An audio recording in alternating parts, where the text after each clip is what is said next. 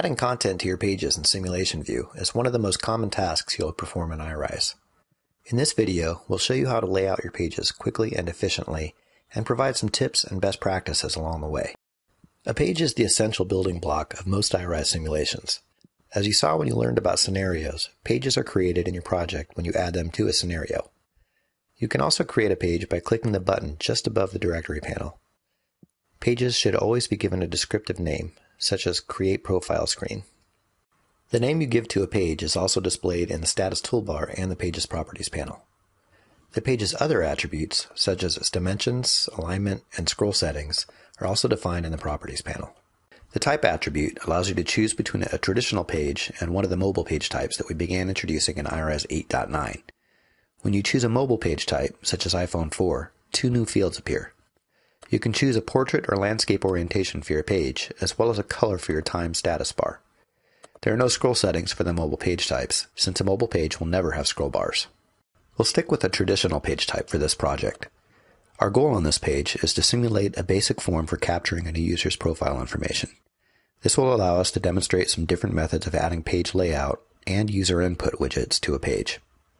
First, we'll add a form widget, a necessary component for capturing data. To do this, we'll use the click and draw method.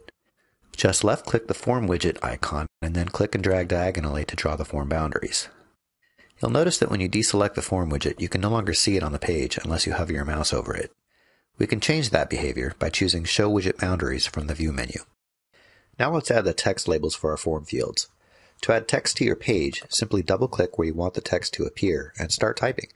The resulting text widget will expand as you type, to add new labels immediately below the first one, we'll use the Control-Enter shortcut. Now we'll use the drag and drop method to add our form fields to the page.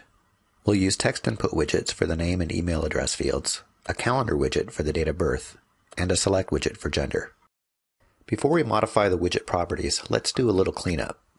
We can align our form widgets by using the Align command under the Edit menu. Let's also align our text labels along their right edge. This time we'll use the right-click menu.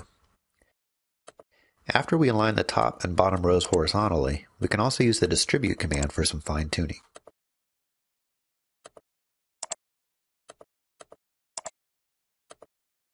Finally, we'll add a checkbox widget and some text for an email opt-in, and a button widget to submit the form. Now let's modify our widget properties. The first thing we'll do is click through and provide a descriptive name for each of our user input widgets.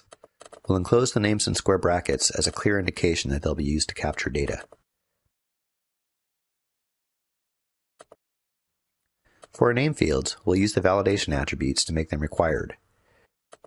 For the email field, we'll also require a valid address, and we'll make this field a little wider than the name fields. In our calendar widget, let's add some placeholder text to indicate the correct date format in case the reviewer wants to type a date instead of using the graphic chooser. In our Select widget, we'll add the options for gender in the Selection Items table.